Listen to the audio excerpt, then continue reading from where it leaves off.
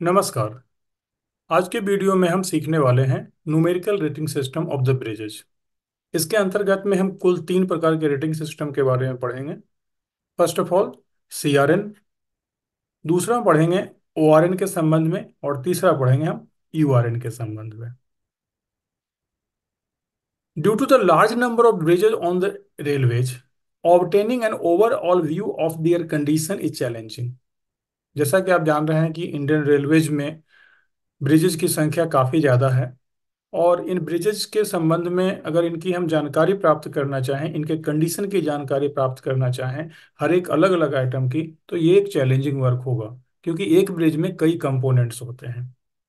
The numerical rating system simplifies this by providing a quick assessment यहाँ पर जो numerical system जब introduce किया गया या न्यूमेरिकल सिस्टम को जब डाला गया, इसका फ़ायदा ये हुआ कि इसके कारण से हमको ब्रिज के जो फ़िज़िकल स्टेट हैं, उसका क्विक असेसमेंट हमको मिल सकेगा, क्योंकि वह एक सिंगल कोड के द्वारा रिप्रेजेंट किया जाता था। This system allows for the tracking of deterioration over time and helps in determining repair priorities by evaluating various factors इसका फ़ायदा दूसरा ये हुआ कि क्या डिटोरिएशन हो रहा है ब्रिज के कंपोनेंट्स के अंदर में, उसको ट्रैक कर सकते थे और रिपेयरिंग रिपेयर करने की प्रायोरिटी को भी डिसाइड किया जा सकता था The primary focus has been on creating a system that require minimum extra effort. जब इस न्यूमेरिकल रेजन सिस्टम को डिफाइन किया जा रहा था तो हमारा प्राइमरी फोकस इस बात पर रहा कि एक ऐसा सिस्टम डिज़ाइन किया जाए, जिसमें कि हमको कम से कम मेहनत पड़े और उस उससे जो वैल्यूज़ निकल करके आए, जो इंफॉर्मेशन निकल करके आए, जो मैनेजर डिसीज़न के लिए वो काफ़ी इफ़ेक्टिव हो। Moreover the numeric nature of the system makes it easily adoptable for computerisation इसके साथ साथ ही इसे कंप्यूटराइजेशन करने में इन न्यूमेरिकल सिस्टम में भी सहायता मिलनी चाहिए, जिसके कारण कि इसके साथ साथ और भी बेनिफिट्स मिल सके। फ़र्स्ट ऑफ़ ऑल बात करते हैं कंडीशनल रेटिंग सिस्टम के बारे में। जब भी किसी ब्रिज के कंपोनेंट की कंडीशन पता करनी होती है तो उसके कंडीशन को हम एक न्यूमेरिक फॉर्म में रिप्रेजेंट करेंगे।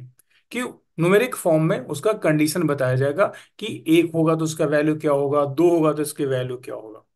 पर जब भी हम कंडीशन किसी ब्रिज के कंपोनेंट की चेक करते हैं तो वे कौन से कंपोनेंट हैं जिन्हें हमें ब्रिज में चेक करना है? तो यहाँ पर आपको ध्यान रखना है कि ब्रिज में, ब्रिज के कंपोनेंट्स को कुल सात भाग में डिवाइड किया गया है और जिनके रेटिंग ही हमें देने हैं। जैसे पहला है फाउंडेशन एंड फ्लोरिंग। तो ब्रिज के फाउंडेशन एंड फ्लोरिंग की टेस्टिंग करनी है, उनके इंस्पेक्शन करने हैं और उसकी स्थिति के हिसाब से उसे रेटिंग देनी है। दूसरा है masonry concrete in the substructure bridge के सब स्ट्रक्चर भाग में मैसेनरी और कंक्रीट वर्क है, उसकी स्थिति क्या है? उसके लिए हमें एक रेटिंग देनी है। तीसरा ब्रिज में अगर ट्रेनिंग एंड प्रोटेक्टिव वर्क्स किया हुआ है तो ट्रेनिंग और प्रोटेक्टिव वर्क्स की स्थिति क्या है? चौथा बेड ब्लॉक ब्रिज में बेड ब्लॉक प्रोवाइड किया हुआ है तो उस बेड ब्लॉक की स्थिति क्या है? पांचवा bearing and expansion arrangement bridge के अंदर में जो बियरिंग दिया हुआ है या एक्सपेंशन करने की जो अरेंजमेंट प्रोवाइड की गई है, उनकी स्थिति कैसी है? और छठा सुपर स्ट्रक्चर सुपर स्ट्रक्चर में गर्डर हो सकते हैं आर्क ब्रिज हो सकते हैं पाइप्स हो सकते हैं स्लैब हो सकते हैं। इन सुपर स्ट्रक्चर में जो भी कंपोनेंट है, उसकी कंडीशन की स्थिति बताना। और सातवां ट्रैक स्ट्रक्चर ब्रिज के ऊपर में जो ट्रैक डाला गया है, उस ट्रैक स्ट्रक्चर की कंडीशन क्या है? तो जब भी ब्रिज का इंस्पेक्शन किया जाएगा तो इन सात पॉइंट का ध्यान रखा जाएगा और इन सात पॉइंट का इंस्पेक्शन करते हुए इनकी एक न्यूमेरिकल रेटिंग देनी है। तो यहाँ पर ये सात पॉइंट आपको ध्यान रखने हैं कि किन पॉइंट्स की, किन आइटम्स की, किन कंपोनेंट्स की ब्रिज में चेक करनी है। तो कुल सात कंपोनेंट को ब्रिज में चेक करना है। पहला फाउंडेशन एंड फ्लोरिंग दूसरा masonry concrete in the sub structure तीसरा ट्रेनिंग एंड प्रोटेक्टिव वर्क्स चौथा बेड ब्लॉक पांचवा बियरिंग एंड एक्सपेंशन अरेंजमेंट छठा सुपर स्ट्रक्चर और सातवां ट्रैक स्ट्रक्चर अब हम देखते हैं कि जब हम इनका इंस्पेक्शन कर रहे होंगे तो उसकी कैसी स्थिति होगी तो कौन सा रेटिंग देंगे या किस रेटिंग के देने पर उसका क्या मतलब निकलता है? तो कंडीशनल रेटिंग देने के लिए कुल ज़ीरो से लेकर के छह तक के नंबर प्रयोग किए जाते हैं। अर्थात कुल सात प्रकार के सीआरएन हमारे पास अवेलेबल हैं। यहाँ पर आप कॉमन चीज़ देख रहे होंगे कि ब्रिज में ब्रिज के कंपोनेंट्स को सात भाग में डिवाइड किया गया है और सीआरएन जो न्यूमेरिकल वैल्यू देना है, वो भी सात है ज़ीरो से लेकर के छह तक। अब इन सभी की वैल्यूज़ क्या क्या होती है? जब आप ब्रिज का इंस्पेक्शन कर रहे होते हैं, उन सात में से किसी भी कंपोनेंट का अगर आप इंस्पेक्शन कर रहे हैं, उस इंस्पेक्शन करने के बाद अगर आपको ऐसा लगता है, वहाँ की स्थिति से ऐसा लगता है कि इस कंपोनेंट का तत्काल ही रीबिल्डिंग और रिहेबिलिटेशन ज़रूरी है। अगर उस कंपोनेंट की रीबिल्डिंग एंड रिहेबिलिटेशन तत्काल ज़रूरी है तो उस कंडीशन में उसे सीआरएन जो दिया जाएगा, वह एक नंबर दिया जाएगा। सीआरएन अर्थात कंडीशनल रेटिंग नंबर यानी कि उस कंपोनेंट की कंडीशन क्या है? तो अगर हमने उसे एक नंबर दिया है डजमिन की उस, उसकी स्थिति काफ़ी खराब है और उसे तत्काल ही रीबिल्डिंग और रिहेबिलिटेशन की ज़रूरत है। अब मान लिया जाए कि उसे तत्काल ज़रूरत नहीं है लेकिन प्रोग्राम बेस में उसे करना आवश्यक है नहीं तो वो इमीडिएटली वाले कंडीशन में ट्रांसफ़र हो सकता है।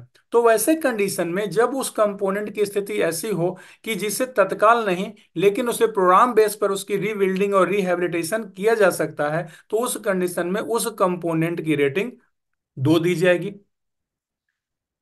तीन रेटिंग तब दी जाए, दी जाएगी जब उस कंपोनेंट में किसी प्रकार का मेजर और स्पेशल रिपेयर करने के काम की आवश्यकता पड़ रही है। आप हमने कम इंस्पेक्शन किया। इंस्पेक्शन करने के बाद आपको ऐसा लगता है कि इसमें स्पेशल ट्रीटमेंट की ज़रूरत है स्पेशल रिपेयर वर्क की ज़रूरत है या एक मेजर रिपेयर वर्क की ज़रूरत है तो उस कंडीशन में उसके लिए रेटिंग नंबर तीन दिया जाएगा उस कंपोनेंट के लिए। इसके बाद हो सकता है कि आपने इंस्पेक्शन किया हो और इंस्पेक्शन में बहुत ही माइनर तरह के डिफेक्ट्स हों जिसको कि day to day routine maintenance में इसको ठीक किया जा सकता है। तो वैसे कंडीशन में उस कंपोनेंट के लिए चार नंबर रेटिंग नंबर दिया जाएगा। अब आता है पाँचवें नंबर का रेटिंग पाँचवें नंबर की रेटिंग तब दी जाएगी जब आपके इंस्पेक्शन में उसमें कोई कमी नहीं पाई जाती है। और वह कंपोनेंट बिल्कुल साउंड कंडीशन में पाया जाता है तो उस कंडीशन में उसे पाँच नंबर दिया जाएगा। ब्रिज के इंस्पेक्शन करने वक्त में कुछ कंपोनेंट, जो सात कंपोनेंट हमने पीछे बताए हैं, उन सात कंपोनेंट्स में से हो सकता है कि कोई कंपोनेंट उस ब्रिज के लिए एप्लीकेबल नहीं हो। वो ब्रिज में वह कंपोनेंट प्रोवाइड ही नहीं किया गया हो। तो वैसी कंडीशन में उस कॉलम में सिक्स नंबर का रेटिंग दिया जाएगा इसका इसका मतलब होगा कि यह आइटम्स इस ब्रिज में एप्लीकेबल ही नहीं है इंस्पेक्शन के लिए। अब परिस्थिति यह कैसी हो सकती है कि कुछ पार्ट ऐसा हो जिसका कि इंस्पेक्शन नहीं किया गया हो, या इंस्पेक्शन करने की परिस्थिति नहीं हो तो वैसे ही कंडीशन में उस कंपोनेंट के साथ में ज़ीरो नंबर दिया जाएगा। ज़ीरो नंबर देने का अर्थ हो गया कि उस कंपोनेंट का इंस्पेक्शन नहीं किया गया है, पर कारण चाहे जो भी रहा हो। तो इस प्रकार से आप अगर देख पा रहे होंगे तो आप न्यूमेरिकल रेटिंग सिस्टम में सीआरएन की वैल्यू अगर ज़ीरो दिया गया है तो इंस्पेक्शन नहीं किया गया है। अगर एक दिया गया है तो इसका मतलब है कि तत्काल उसे सहायता की आवश्यकता है, उसे रीबिल्डिंग और रिहेबिलिटेशन की ज़रूरत है। दूसरा नंबर तब दिया जाएगा जब वो डिफेक्ट इस ढंग का हो कि उसे प्रोग्राम बेस पर बदला जा सकता हो। तीसरा नंबर तब दिया जाएगा जब उसमें किसी मेजर या स्पेशल रिपेयर्स की आवश्यकता पड़ रही हो। चौथे नंबर तब दिया जाएगा जब उसमें रूटीन मेंटेनेंस की आवश्यकता हो और पांचवा नंबर तब दिया जाएगा जब उसे साउंड कंडीशन की आवश्यकता हो। यानी कि साउंड कंडीशन अगर हो तो उसे पांचवा नंबर दिया जाएगा। और अगर वो कंपोनेंट उस ब्रिज में अवेलेबल ही नहीं है तो उस कंडीशन में उस कंपोनेंट के सामने रजिस्टर में छह नंबर दिया जाएगा। तो इस प्रकार आप देख रहे होंगे कि जैसे जैसे एक नंबर से छह नंबर की ओर बढ़ते हैं वैसे वैसे ब्रिज की स्थिति अच्छी होती जाती है। या एक नंबर से पाँच नंबर की ओर जा रहे हैं तो ब्रिज की स्थिति अच्छी होती जा रही है, क्योंकि छठे नंबर तो एप्लीकेबल ही नहीं है। और जैसे जैसे पाँच से पीछे की ओर जाते हैं और एक की ओर पहुँचते हैं तो वैसे वैसे ब्रिज की स्थिति खराब होती जाती है, ब्रिज के कंपोनेंट्स की स्थिति खराब होती जाती है, और उसे तत्काल और अधिक उसमें रिपेयरिंग इनपुट की आवश्यकता पड़ती है। एक बात आपको समझना है कि ये जो रेटिंग सिस्टम है, ये रेटिंग सिस्टम सिर्फ़ कंपोनेंट के फ़िज़िकल स्टेट के बारे में बताता है।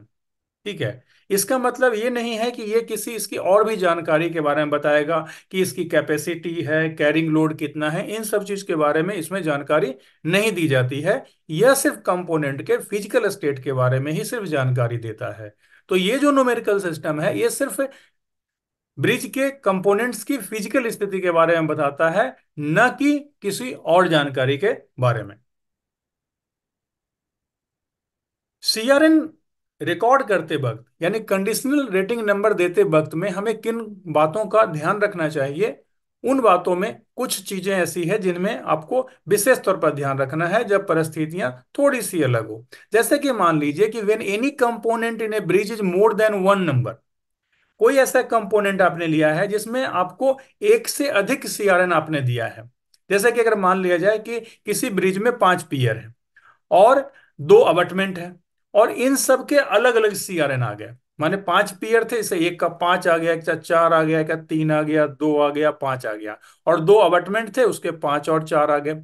अब यहाँ पर कंडीशन बनती है कि आपको इस पियर और ब्रिज के लिए जो न्यूमेरिकल रेटिंग सिस्टम में सीआरएन आप उसको प्रोवाइड करने वाले हैं, इस सब स्ट्रक्चर कंपोनेंट की तो वो आप क्या देंगे? क्योंकि इतने नंबर तो आप लिख नहीं सकते। तो यहाँ पर ध्यान रखना है कि इनमें जो सबसे मिनिमम होगा, वही नंबर उस पूरे कंपोनेंट के लिए दिया जाएगा। यानी कि उस ब्रिज में पियर और अवटमेंट के लिए जो नंबर दिया जाएगा, उसका न्यूमेरिकल रेटिंग सिस्टम दो होगा, क्योंकि इन पाँच पियर और दो अवटमेंट में जो सबसे कम रेटिंग नंबर जो मिला है उनमें मिला है दो नंबर। तो जो न्यूनतम नंबर होगा, वही उनका ओवरऑल नंबर दिया जाएगा। अगर किसी ब्रिज में वन और मोर कंपोनेंट डोंट एग्जिस्ट जैसा कि हमने पहले बात कर रखा था कि किस कोड के लिए क्या वैल्यूज़ है तो अगर कोई ब्रिज में कोई कंपोनेंट उपलब्ध ही नहीं है एग्जिस्ट ही नहीं करता है तो उस कंडीशन में उसका सीआरएन सिक्स दिया जाएगा। अब हम दूसरे प्रकार के रेटिंग सिस्टम के बारे में जानते, जानने का प्रयास करते हैं और वह है ओवरऑल रेटिंग नंबर अभी तक हमने देखा कि प्रत्येक कंपोनेंट के हमने अलग अलग रेटिंग दिए थे। पर प्रत्येक कंपोनेंट के अलग अलग रेटिंग देने से इस बात की जानकारी हमको नहीं मिल पा रही है कि उस ब्रिज का ओवरऑल फ़िज़िकल स्टेट क्या है। तो ब्रिज का ओवरऑल फ़िज़िकल स्टेट को एक नंबरिंग देने के लिए एक नया न्यूमेरिकल सिस्टम डेवलप हुआ, जिसका नाम रखा गया ओवरऑल रेटिंग नंबर इस ओवरऑल रेटिंग नंबर में कुछ बहुत ज़्यादा डिफ्रेंशिएट नहीं कुछ नया नहीं किया गया है। सिर्फ़ इतना ही इसमें ऐड किया गया है कि जब भी किसी ब्रिज के कंपोनेंट में डिफरेंट सीआरएन आ गए अलग अलग जो सात कंपोनेंट हमने चेक किए थे जिन सात कंपोनेंट को ब्रिज में चेक करना, उन सात कंपोनेंट के अलग अलग सीआरएन आ गए। तो अगर हमें इसे होल के फॉर्म में अगर रिप्रेजेंट करना है तो उसे हम कैसे करेंगे? तो एक बात क्या ध्यान रखना है कि हम जब सीआरएन देते हैं तो ज़ीरो से लेकर छ तक मैंने कि सिक्स नंबर तक दिया जाता है। पर ओवरऑल रेटिंग नंबर में ज़ीरो को प्रावधान नहीं है। ओवरऑल रेटिंग नंबर जो दिया जाएगा, वो एक से लेकर के छह के बीच में ही दिया जाएगा। जैसे कि अब यहाँ पर एक नीचे रिप्रेजेंट किया जाता है। जैसे कि एग्ज़ाम्पल दिया हुआ है कि यहाँ पर आप देखें, ये फाउंडेशन फ्लोरिंग है मैसनरी है ट्रेनिंग एंड प्रोटेक्टिव वर्क्स है बेड ब्लॉक है बियरिंग है सुपर स्ट्रक्चर है और ट्रैक है। ये हमारे पास सात कंपोनेंट है जिनको हमको चेक करना था। अब इनको हमने चेक किया तो हमने क्या पाया कि फाउंडेशन और फ्लोरिंग में इंस्पेक्शन करने की वहाँ पर पॉसिबिलिटी नहीं थी, हम इंस्पेक्शन नहीं कर पा रहे थे। तो हमने उसमें लिखा, यानी उसकी परिस्थिति आई कि foundation and flooring were not inspected आपको पता है कि अगर फाउंडेशन और फ्लोरिंग अगर इंस्पेक्ट अगर नहीं हो पाया है तो उस कंडीशन में उसका नंबर दिया जाएगा ज़ीरो अगर इंस्पेक्शन नहीं किया गया है तो। इसी प्रकार मशीनरी और कंक्रीट वर्क में अगर हमने चेक किया तो इसका आया कि यहाँ पर स्पेशल रिपेयर्स की ज़रूरत है। अब चूँकि यहाँ पर स्पेशल रिपेयर्स की ज़रूरत है तो स्पेशल रिपेयर्स के लिए तीन नंबर दिया गया उसका rating training and protective works में, इसमें ट्रेनिंग एंड प्रोटेक्ट वर्क्स में एक कंपोनेंट अवेलेबल ही नहीं था. उस ब्रिज में ट्रेनिंग एंड प्रोटेक्टिव वर्क्स का कोई प्रोविज़न ही नहीं था, वो अवेलेबल ही नहीं था, वो कंपोनेंट तो हमने उसमें, उसके सामने में छह नंबर का रेटिंग दिया. बेड ब्लॉक चेक किया तो बेड ब्लॉक में ऐसा पाया कि बेड ब्लॉक में क्रैक्स है और सेकिंग हो रही है. तो ऐसे कंडीशन में इसे प्रोग्राम बेस पर इसका चेंज होना या इसका रिपेयर करना ज़रूरी है। तो इसके लिए इसमें दो नंबर प्रोवाइड किया गया। बियरिंग और एक्सपेंशन अरेंजमेंट को जब चेक किया गया तो देखा वो साउंड कंडीशन में है, उसको कोई प्रॉब्लम नहीं है तो इसलिए उसमें पाँच नंबर दिया गया। सुपर स्ट्रक्चर को चेक करने पर मालूम चला कि उसमें कोई बहुत बड़े डिफेक्ट्स नहीं है नॉर्मल है, जो रूटीन मेंटेनेंस में की जा सकती है, इसलिए उसमें चार नंबर दिया गया। और जो ट्रैक चेक किया गया तो ट्रैक की भी कंडीशन लगभग लगभग ठीक थी, थोड़े बहुत रूटीन मेंटेनेंस की ज़रूरत थी तो उसके भी चार नंबर दिए गए। वहाँ पर भी, यहाँ पर चार नंबर दिया गया। अब है कि इसका ओवरऑल रेटिंग नंबर क्या होगा? तो अब आपको यहाँ पर समझना है कि जब किसी ब्रिज के सभी कंपोनेंट की सीआरएन आपको मिल जाती है, और उस कंपोन उस ब्रिज का आपको ओवरऑल रेटिंग नंबर निकालना है तो आपको करना क्या है? उन सात कंपोनेंट में जो सबसे कम नंबर आएगा ज़ीरो को छोड़ करके। उन सात कंपोनेंट में जो सबसे कम सीआरएन मिला होगा, वही उस ब्रिज का ओवरऑल रेटिंग नंबर होगा। तो जैसा कि आप देख रहे हैं, जैसा कि मैंने बताया कि ज़ीरो को आपको नहीं लेना है तो इसको आप छोड़ दीजिए। इसके अलावा तीन है, छह है, दो है, पाँच है, चार है और चार है। इन सब में जो सबसे कम नंबर दिख रहा है, वो है दो। तो अतः इस ब्रिज का, मान लिया कि एक्स वाई जेड एक ब्रिज है तो एक्स वाई जेड ब्रिज का ओवरऑल रेटिंग नंबर हो जाएगा दो। यहाँ पर एक बात और नोट करने के लिए है कि अगर कोई सी माइनर ब्रिज का हम ओवरऑल रेटिंग नंबर निकाल रहे हैं तो ओवरऑल रेटिंग नंबर किसी माई फ़िज़िकल कंडीशन जो होगा ओवरऑल रेटिंग नंबर वो भी सिर्फ़ एक डिजिट से ही उसको रिप्रेजेंट किया जाएगा। उसमें किसी और प्रकार के, इसके बारे में हम थोड़ा सीआर में पढ़ेंगे तो सीआर में आपको थोड़ी अच्छी ढंग से इस बात को समझा पाऊँगा। तो कुल मिला के आपने ये समझ लिया कि ओवरऑल रेटिंग नंबर प्रोवाइड करने के लिए हमें सभी कंपोनेंट का सीआरएन के बारे में जानना आवश्यक है। अगर आपको सभी कंपोनेंट के सीआरएन अगर अवेलेबल हो गए तो अब आप इसका ओवरऑल रेटिंग नंबर दे सकते हैं। ओवरऑल रेटिंग नंबर देते वक्त में आपको क्या ध्यान रखना है कि ओवरऑल रेटिंग नंबर ज़ीरो नहीं दिया जा सकता है। तो ज़ीरो के अलावा जितने भी सीआरएन दिए हुए हैं, उन सीआरएन में जो सबसे कम नंबर होगा, वही नंबर उस ब्रिज का ओवरऑल रेटिंग नंबर होगा। किन बातों का ध्यान रखना है? ओवरऑल रेटिंग नंबर देते वक्त में। ओवरऑल रेटिंग नंबर देते वक्त में जिन बातों का ध्यान रखना है उनका from the N for different components of a bridge in overall rating number for the bridges as a whole is then given the or is the lowest of the seven CRN of a bridge except zero तो जो बात हमने आपको पहले बताई थी उसी बात को यहाँ पर इलेस्ट्रेशन uh, किया गया है कि जब भी किसी सीआरएन अलग अलग कंपोनेंट्स के आपके ब्रिज के मालूम हो जाए और जब उसका ओवरऑल रेटिंग नंबर उस ब्रिज का आपको देना है तो आपको क्या करना है कि जो भी सीआरएन दिए हुए हैं, उनमें से लोएस्ट नंबर आपको लेने हैं, लेकिन ज़ीरो नहीं लेना है, क्योंकि ज़ीरो तो इंस्पेक्शन किया ही नहीं गया है उसके लिए है। तो जब इंस्पेक्शन किया ही नहीं गया है तो उसका रेटिंग देने का कोई मतलब नहीं बनता है। अब बात आती है तीसरे नंबर का रेटिंग नंबर जिसका नाम रखा गया है unique rating number unique rating number बिल्कुल ही अलग नहीं है। आप इसे ऐसा समझ सकते हैं कि यह सीआरएन और यूआरएन का कॉम्बिनेशन है। सीआरएन और यू यूआरएन का सॉरी सीआरएन का एक कॉम्बिनेशन है और ओआरएन का कॉम्बिनेशन है। तो अगर ओआरएन और सीआरएन को मिला दिया जाए तो एक यूनिक रेटिंग नंबर बन जाता है। तो यूनिक रेटिंग नंबर जो बनाया जाया जाएगा तो उसमें कुल आठ डिजिट लिए जाएँगे। यानी यूनिक रेटिंग नंबर का फॉर्मेशन जो होता है, वह आठ डिजिट के साथ मिलकर के बना होता है। जिसमें पहला डिजिट जो होता है, वो रिप्रेजेंट करता है ओआरएन को, और बाकी के जो सात डिजिट बच जाते हैं, वह रिप्रेजेंट करते हैं सीआरएन को, और वो भी स्पेसिफिकली जैसा कि अगर आप देख रहे, पा रहे होंगे कि जो दूसरा डिजिट है पहले डिजिट तो ओआरएन हो गया, दूसरा डिजिट है वह सी आर एन वो फाउंडेशन एंड फ्लोरिंग को रिप्रेजेंट करेगा। तीसरा नंबर मैसेनरी और concrete work in substructure को रिप्रेजेंट करेगा। चौथा ट्रेनिंग एंड प्रोटेक्टिव वर्क्स को रिप्रेजेंट करेगा। पांचवा नंबर बेड ब्लॉक को रिप्रेजेंट करेगा। छठा number bearing and expansion arrangement को रिप्रेजेंट करेगा। सातवां नंबर सुपर स्ट्रक्चर्स के जो आइटम्स हैं, उनको रिप्रेजेंट करेगा और आत्मा ट्रैक स्ट्रक्चर की कंडीशन को रिप्रेजेंट करेगा। तो आप यहाँ पर डिजिट्स के नंबर किस प्लेस पर, जैसे थर्ड डिजिट है, थर्ड डिजिट के नंबर देख के बता सकते हैं कि मैसेनरी और कंक्रीट की स्थिति कैसी है।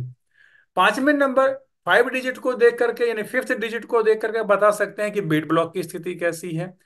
सेवन डिजिट को आप देख करके बता सकते हैं कि उस ब्रिज के सुपर स्ट्रक्चर की स्थिति कैसी है। अब बात आ रही है कि इसमें जैसा कि आपको बताया गया कि इसमें जो ओआरएन दिया जाता है, जब से कि हमने ओ में पहले पढ़ा था कि ओआरएन क्या है? सीआरएन में जो सबसे मिनिमम वैल्यू होती है, वो होती है ओआरएन तो जैसा कि आप सेकेंड डिजिट से लेकर के एट डिजिट के बीच में आप नंबरों को जो आप नीचे में देखें से कि सेकेंड डिजिट ज़ीरो है थर्ड डिजिट थ्री है फोर्थ डिजिट सिक्स है, फिफ्थ डिजिट टू है, सिक्स डिजिट फाइव है सेवेंथ डिजिट फोर है, एट्थ डिजिट फोर है। तो इनमें जो सबसे न्यूनतम आ रहा है, सबसे जो मिनिमम आ रहा है, वो आ रहा है टू। तो हम यहाँ पर इसी टू को यहाँ फ़र्स्ट वाले डिजिट पर प्लेस कर देंगे और इसके बाद ये पूरा आठ डिजिट का यूनिक रेटिंग नंबर बन जाएगा। तो इस प्रकार ये बन चुका है two zero three six two five four four और यह ब्रिज का यूनिक रेटिंग नंबर बन गया है। तो इस प्रकार से unique rating number O R N और सी आर एन का एक कॉम्बिनेशन है, जिसमें एक निश्चित क्रम में इसको लिखा जाता है। किन बातों का यूआरएन की रिकॉर्डिंग करते वक्त में या यूरन यूआरएन नंबर्स को देते वक्त में किन बातों का ध्यान रखना है? कि जैसा कि हमने देखा कि मेजर ब्रिजेज हैं, उनका यूआरएन कितना होता है? आठ डिजिट का होता है। जिसमें पहला डिजिट जो रिप्रेजेंट करता है, वो ओआरएन को रिप्रेजेंट करता है, और बाकी के सात डिजिट जो हैं, वह सात कंपोनेंट को एक सीक्वेंस में रिप्रेजेंट करते हैं। पर एक बात का ध्यान रखना है कि यूआरएन अगर हम माइनर ब्रिज का दे रहे हैं तो ये आठ डिजिट का नहीं होगा, बल्कि सिर्फ़ एक ही डिजिट का होगा, और वो उसका सीआरएन ही उसका ओआरएन बन जाएगा। उस मतलब उसका सॉरी उसका ओ ही जो होगा, उसका यूआरएन बन जाएगा। The physical state of a road over bridges अगर आपको रोड ओवर ब्रिज का फ़िज़िकल स्टेट पता करना है तो उनके साथ भी यही सारे नियम को हमको फॉलो करना है। यानी कि रेल ब्रिज के के लिए जो हम न्यूमेरिकल रेटिंग सिस्टम देते हैं, यही रोड ओवर ब्रिज के लिए भी न्यूमेरिकल रेटिंग सिस्टम दिए जाएँगे। जब हम किसी ब्रिज के डिफरेंट कंपोनेंट का सीआरएन हम प्रोवाइड करते हैं ब्रिज में एवेलेशन करते हैं तो उसको रजिस्टर में अप्रोप्रिएट प्लेस पर उसको रिकॉर्ड करना चाहिए। उम्मीद करता हूँ कि आपको इस न्यूमेरिकल रेटिंग सिस्टम के बारे में बेहतरीन ढंग से समझ में आया होगा कि न्यूमेरिकल रेटिंग सिस्टम किस ढंग से प्रोवाइड किया जाता है।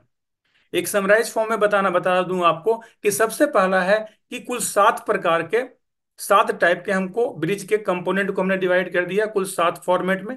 उन सातों फॉर्मेट के लिए सात प्रकार के रेटिंग सिस्टम दिए गए। यानी हर के लिए सात हैं, और उनमें से जो भी कंडीशन फुलफिल करेगा, उन सात में से किसी एक का रेटिंग नंबर दे दिया जाएगा।